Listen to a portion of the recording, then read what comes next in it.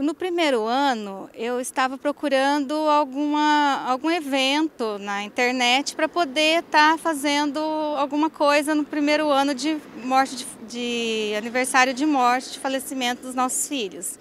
E encontrei por coincidência o Maio Amarelo. E aí, desde então, comecei a seguir o movimento.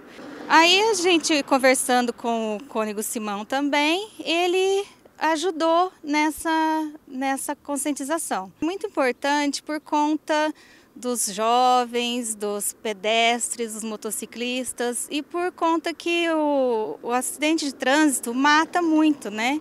Está, o índice de mortalidade está muito alto.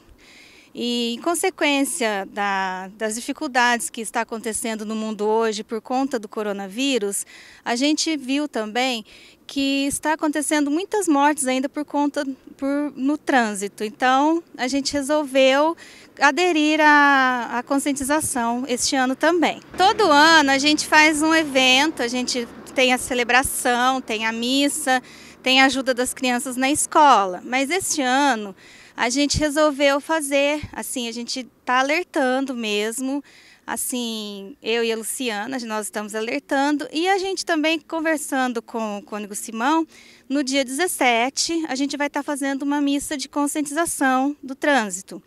E eu quero estar, tá, assim, chamando é, todos os, as pessoas que tiveram seus entes queridos mortos no trânsito, para poder estar tá ligando na secretaria da Casa Paroquial, para poder estar tá marcando a missa.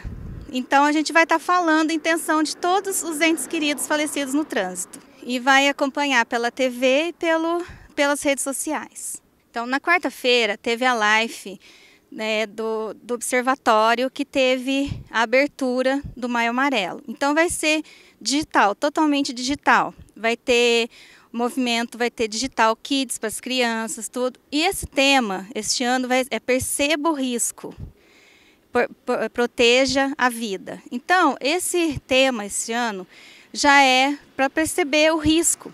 Então é para todos, para tanto motorista, tanto para quem o acompanhante, motociclistas, é, ciclistas, pedestres, para estarem prestando atenção no trânsito, né, para poder preservar a vida